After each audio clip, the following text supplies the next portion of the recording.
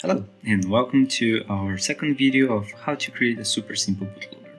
Just to recap, so far we've done the getting started and the first part of the linker file hands-on session. So I'll continue to deploy the linker file hands-on while we do a new exploration. And this time we're gonna place a function in a very specific memory region. I'll start by adding it on the flash and then I'll create a second one in RAM. And this is basically where we're gonna add it to allow the section for the flash to be created.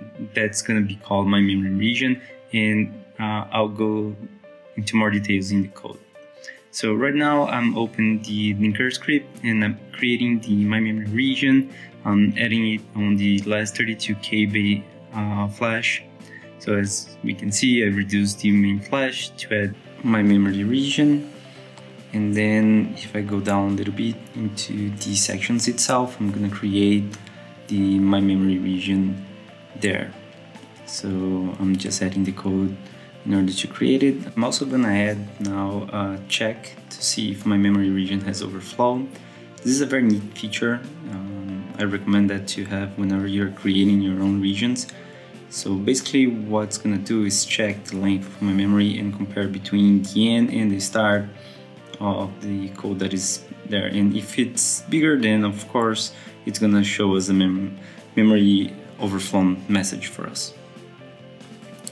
Now let's resume back to our code and I've built while I was switching and now I have the my memory region shown on on the ELF file so we could see there below and it's still with nothing. So that's why I'm gonna create a, a small function to reside there. And since I'm gonna reuse the same attribute, I'm gonna actually create a define uh, with the attribute to place everything with this locate underscore fun into the section that we just created, the my section. Right, uh, now that I have the define done, I can go on and create my own function uh, using that as a somewhat of shortcut key to place the function in the location that I want. So I'm gonna use that and create a very simple function called blink.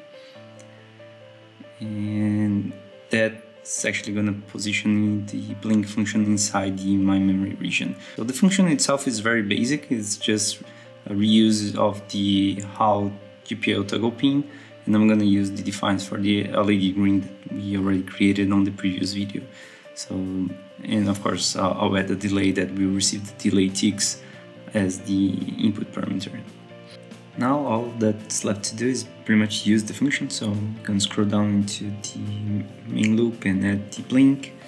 And now I can build my code and check upon the ELF. So now I can see that my memory region has 36 amazing bytes, which is basically the function that we just created residing there. So now one way to check it is of course by debugging, so um, switch to the debug interface just to prove that this is not gonna cause any hard fault or any pointer going haywire. So this is just a very simple demonstration though. So I'm going to execute the code and just place a breakpoint in the main loop and we can see it reached, there's nothing going wrong. Uh, I can assure you guys that the code is working properly as we could see on the debug demonstration. Alright, now let's assume that we wanted to use a RAM function this time instead of the flash. So I'm going to create uh, a function that will be placed on RAM using the same command the attribute, but this time I'm going to use an already created section of the linker script. So of course I don't expect anyone to remember the names that are available there. That's why I'm going to also switch to the linker script uh, region uh, and demonstrate where to find it. So by opening the linker script, I can scroll down a little bit and check that there are several regions that are related to the RAM memory. Uh, we can see the ones that we created on the past video, the my memory that we just assigned. But what we are actually looking for is one that will reside on Flash and then will be automatically uploaded to the RAM. And that's the one. So we can see here the function will be located at RAM, but it's also saved on flash. And that's exactly what we want. So this is the section that is already created for that end, so the RAM func. and I just copy paste here now I can create a function uh, which in our case is just gonna turn on the LED, uh, the LED.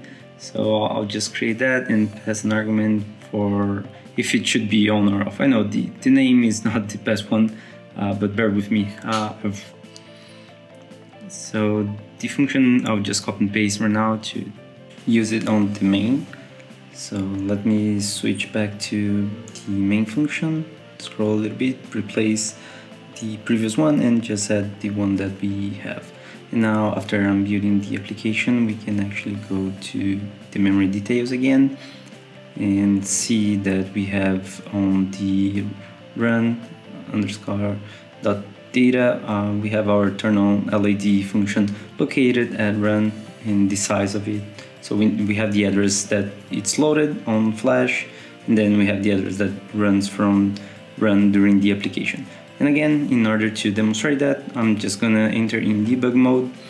And before even hitting play, we can go to the function and go into a closer view and see that it actually is located in RAM. We can see the address. And whenever I'm doing the code execution, we can again see that the code will properly load and um, the function will behave normally without any hard fault creation there. All right, uh, so this basically demonstrated how we could create one function in Flash and the other one in RAM. And right now I'm just going to use uh, different concept uh, of function pointers. So instead of calling the function by its name, I'm going to create a pointer of functions. Right now we just have one function that I'm interested in adding, which is the blink, because it's located on my memory region. And as you guys, pro guys probably already understood, I'm eventually gonna share this memory region between the bootloader and the application. So I'm just adding another uh, building block of the steps needed towards our end goal. So of course I need to create a type def for the pointer as well, which I'm doing right now. And now that I have both the function pointer plus the pointer structure itself called functions, all I have to do now is go to the main switch back and replace the blink with the functions. Of course, it's a pointer, so a few changes needs to be done on the code as well to reflect the pointer structure. That's the only position. And the argument, which is I'll be keeping the 100 milliseconds. And just to prove again, I'll enter in debug mode and you guys are gonna see that there's no hard fault the application does run as expected. All right, uh, this was basically what I wanted to show for this video. Uh, hope you guys enjoyed and thank you for watching. Let's see each other on the next video where I'm gonna create the bootloader.